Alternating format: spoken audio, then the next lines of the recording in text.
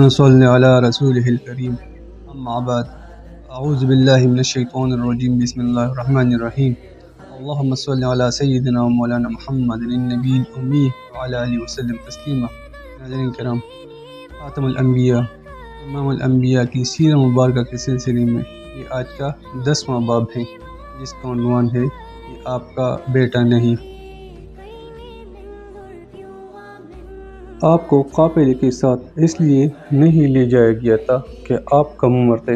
आप वहीं दरख्त के नीचे बैठ गए। इधर बखेरा ने लोगों को देखा। और उनसे कहा, किसी उनमें से किसी ने उसे वो सिफत नज़र न आई, जो आखिर नबी के बारे में उसे मालूम थी। न उनमें से किसी पर वो बदली नज़र आई, बल्कि उसने अजीब बात देखी कि वो बदली वहीं पड़ाव की जगह पर ही रह गई थी। उसका साफ़ मतलब ये था, बदली वही है, जहाँ अल्लाह के रसूल है। तब बहेरा ने कहा, ए कुरैश के लोगों, मेरी दावत से आप में से कोई भी पीछे नहीं रहना चाहिए। इस जवाब पर कुरैश ने बहेरा से कहा, ए बखेरा जिन लोगों को आपकी इस दावत में लाना ज़रूरी था, उनमें से तो कोई रहा नहीं। हाँ एक लड़का रह गया है, जो सबसे कम उम्र है। जिस पर बखेरा बोला, तब फिर मेहरबानी फरमा कर उसे भी बुला ली। ये किस कदर बुरी बात है कि आप सब आए और आप में से एक रह जाए, और मैंने इसे आप लोगों के साथ देखा था।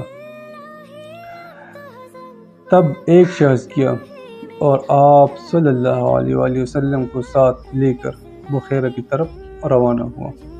इस वक्त वो बदली आपके साथ साथ चली और तमाम रास्ते उसने आप वसल्लम पर साया किए रखा। बखेरा ने ये मंजर साफ़ देखा। वो अब आपको और ज़्यादा गौर से देख रहा था और आपके जिसम मुबारक में वो अलामत तलाश कर रहा था जो उनकी सबका कुतुब में दर्ज थी। जब लोग खाना खा चुके और इधर उधर हो गए, तब बुखेरा आप सल्लल्लाहु अलैहि वसल्लम के पास आया और बोला, मैं लात और अज़ा के नाम पर आपसे चंद बातें पूछना चाहता हूँ और जो मैं पूछूँ, आप मुझे बताएँ। इस जवाब पर हज़रत मोहम्मद वसल्लम की ये इरशाद फरमाया कि मैं लात और गज़ा जो कुरैश के बुतों के नाम थे के नाम पर मुझसे कुछ न पूछूँ। अल्लाह की कसम, मुझे सबसे ज़्यादा नफ़रत इन्हीं बुतों से है। अब बुखेरा ने बोला कि, ठीक है तो फिर अल्लाह के नाम पर बताएँ, जो मैं आपसे पूछना चाहता हूँ। इस जवाब पर आप सल्लल्लाहु अलैहि वसल्लम ने फरमाया, जी, पूछो। आपने क्या पूछना है? उसने बहुत से सवाल किए। आपकी आदत के मुताबिक के बारे में पूछा। उसके बाद उसने आपकी कमर पर से कपड़ा हटाकर मोहर नबूत को देखा। वो बिल्कुल वैसी ही थी जैसा कि उसने अपनी किताब में पढ़ा था। उसने फ़ौर मोहर नबूत की जगह को बोसा दिया। कुरैश के लोग ये सब देख रहे थे। और हैरान भी हो रहे थे। आखिर लोग कहे बगैर न रह सके। ये राहब मोहम्मद सल्लल्लाहु अलैहि वसल्लम में बहुत दिलचस्पी ले रहा है। शायद इसके नज़दीक उनका मरतबा बहुत बुलंद है। इधर नबी करीम सल्लल्लाहु अलैहि वसल्लम से बातचीत करने के बाद बखेरा अबू तालिब की तरफ़ आया और बोला, ये लड़का तुम्हारा क्या लगता है? जिस पर अबू तालिब ने कहा, ये मेरा बेटा है। इस पर बहेरा ने कहा, नहीं, ये तुम्हारा बेटा नहीं हो सकता। ये नहीं हो सकता कि इसका बाप ज़िंदा हो। अबू तालिब को ये सुनकर खैरत हुई। फिर उन्होंने कहा, दरअसल ये मेरे भाई का बेटा है। इनका बाप कहाँ है? वो फौत हो चुका है। इसका इंतकाल इसका इंतकाल उस वक़्त हो गया था जब अभी पैदा नहीं हुए थे। ये सुनकर बखेरा बोल उठा हाँ ये बात सही है। और इनकी वायदा का क्या हुआ? इनका भी अभी थोड़े अरसे ही पहले इंतकाल हुआ है। ये सुनते ही बोहरा ने कहा, आपने बिल्कुल ठीक कहा। अब तुम यूँ करो कि अपने भतीजे को वापस वतन ले जाओ। यहूदियों से इनकी पूरी तरह हिफाजत करो। अगर उन्होंने इन्हें देख लिया और इनमें वो निशानियाँ देख ली जो मैंने देखी हैं तो वो इन्हें कत्ल करने की कोशिश करेंगे। तुम्हारा ये भतीजा नबी है, इसकी बहुत शान है।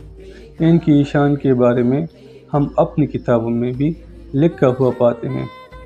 और हमने अपने बाप दादाओं से भी बहुत कुछ सुन रखा है। मैंने ये नसीहत करके अपना फ़र्ज़ पूरा कर दिया है। और उन्हें वापस ले जाना तुम्हारी ज़िम्मेदारी है। अबू तालिब बहेरा की बातें सुनकर खौफजदा हो गए। आप सल्लल्लाहु अलैहि वसल्लम को लेकर मक्का वापस आ गए। इस वाक़े के वक़्त आप सल्लल्लाहु अलैहि वसल्लम की उम्र मुबारक नौ साल थी। इस उम्र के लड़के आम तौर पर खेल कूद में ज़रूर हिस्सा लेते हैं। इन खेलों में खराब और गंदे खेल भी होते हैं। लेकिन अल्लाह तबारक वाली ने आपको इस सिलसिले में भी बिल्कुल महफूज रखा। जाहिलियत के ज़माने में अरब जिन बुराइयों में जकड़ी हुई थी, उन बुराइयों से भी अल्लाह तबारक ताली ने आप सल्लल्लाहु अलैहि वसल्लम की हिफाजत फरमाई। एक वाक़ आप अलैहि वसल्लम ने खुद बैन फरमाया एक कुरैशी लड़का मक्का के बालाई हिस्से में अपनी बकरियाँ लिए मेरे साथ था। मैंने उससे कहा, तुम ज़रा मेरी बकरी का ध्यान रखो, ताकि मैं किस्सा गोई की मजलिस में शरीक हो सकूँ।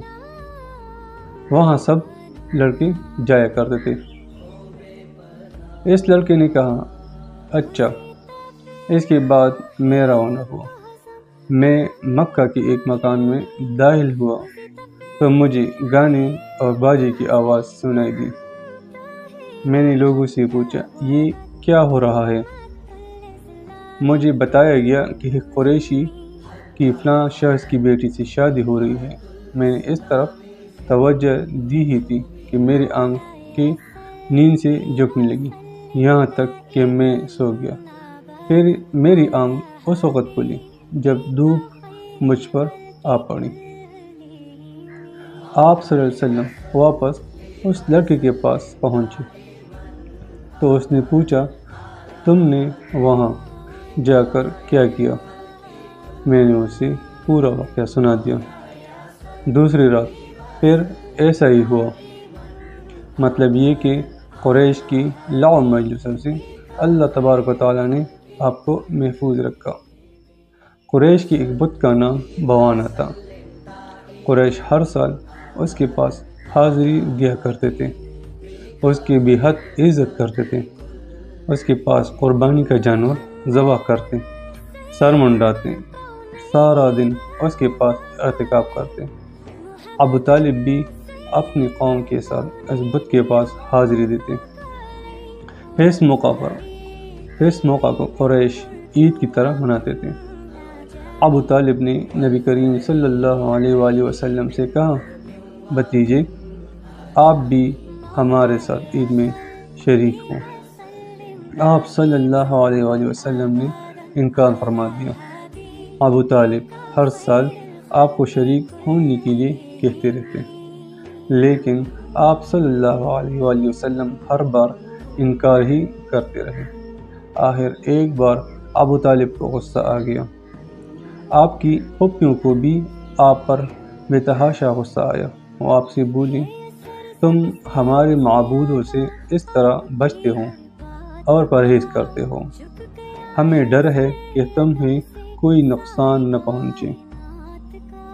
उन्होंने ये भी कहा, मोहम्मद, आखिर तुम ईद में क्यों शरीक नहीं होते?